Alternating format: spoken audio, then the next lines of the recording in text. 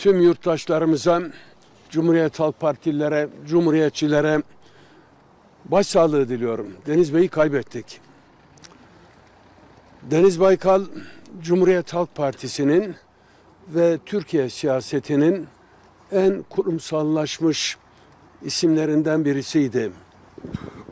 Siyaset adamımızdı, devlet adamımızdı.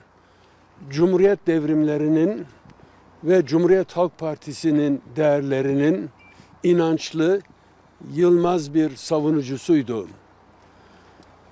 Kendisini sonsuzluğa uğurluyoruz. Yüce Allah mekanını cennet etsin. Tekrar hepinize başsağlığı diliyorum. Türk siyasetinin önemli bir ismini kaybetmenin üzüntüsü içerisindeyiz. Türk siyasetinde özgüveninin ve vatan sevgisinin timsali olmuş bir siyasetçiydi Deniz Baykal. Türkiye'nin tarihinde ve kaderinde önemli kilometre taşlarının belirleyicisi olmuştur. Büyük hizmetler olmuştur. Allah gani gani rahmet etsin. Ee, milletimizin ve ailesinin başı sağ olsun. Hepimizin başı sağ olsun. Çok üzgünüm. Deniz Bey benim alt- 67 yıllık dostluğum var.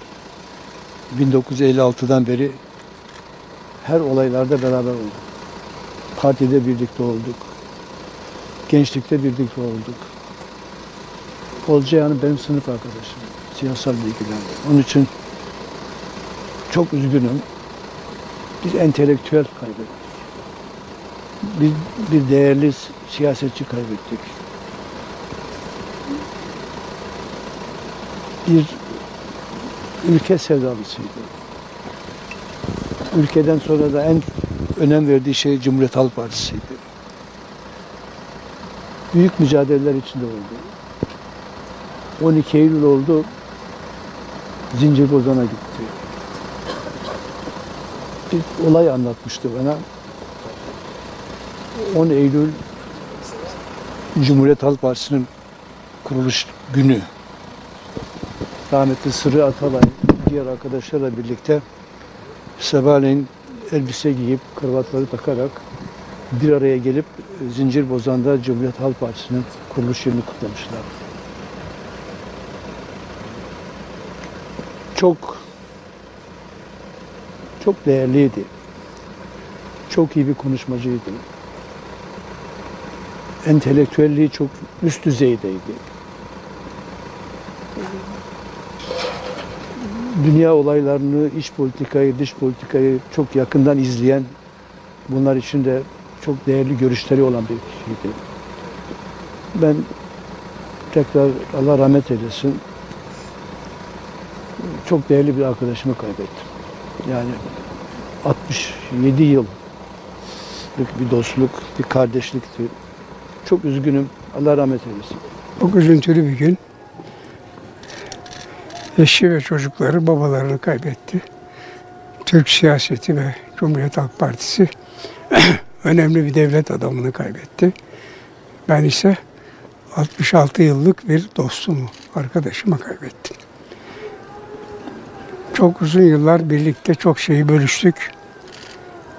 En son 10 yılı aşkın genel sekreterliğini yaptığım Sayın Deniz Baykal'ın Türkiye'de siyaset dünyasındaki yerinin kolay da olacağını sanmıyorum.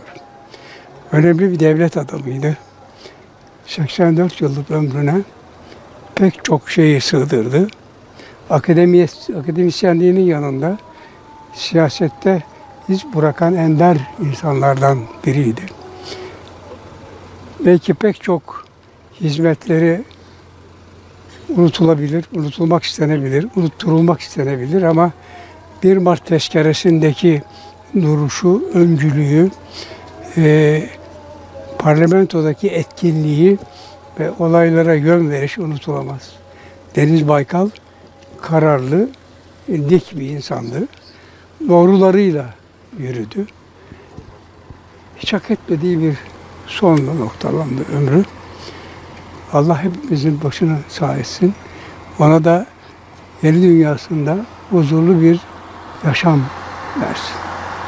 eski genel başkanı, değerli siyasi adamı, devlet adamı Deniz Baykal'ın vefatını sabah öğrendik. Bugün de kendilerine taziye ziyaretinde bulunduk. Sayın Erkal'la çok uzun hatıralarımız oldu. Türkiye Büyük Millet Meclisi'nde. Ben 2002 yılında milletvekili olduğumda o da Ana Muhalefet Partisi Genel Başkanıydı. Ülkesini seven, devletini seven, çok önemli meselelerde parti menfaati yerine ülke menfaatini ön plana çıkaran önemli bir devlet adamıydı. Milli bir duruşu vardı. Kendisine Allah'tan rahmet, yakınlarına başsağlığı dileklerimizi iletiyoruz. 50 yıllık bir siyasi geçmiş içerisinde bulunan hakikaten önemli hizmetlere imza atmış, katkı sağlamış. Türkiye muhalefet olarak Türkiye ile ilgili meseleleri ifade ederken çok büyük katkılar sağladığını inanıyorum. Rabbim tekrar rahmetiyle muhafaza eylesin diye düşünüyorum. Teşekkür ediyorum.